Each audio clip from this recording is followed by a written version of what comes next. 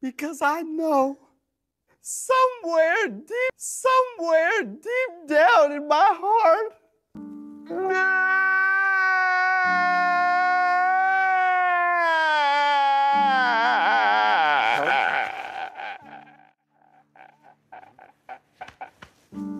I still love you.